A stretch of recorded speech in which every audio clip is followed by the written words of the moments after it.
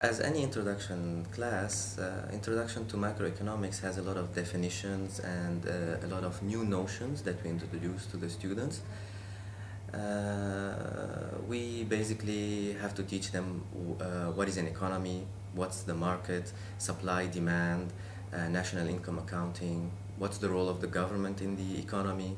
uh, let's say consumption, investment, so on and so forth.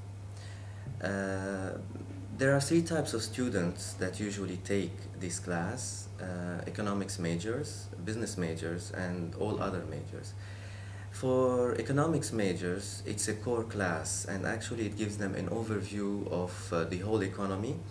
and all the areas of the economy that they can uh, concentrate on later on in their studies. Uh, for business students, uh, it's a required class, so uh, they have to actually study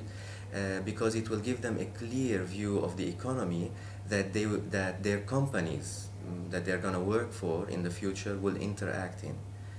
As for other students, they take it, I think, as an elective,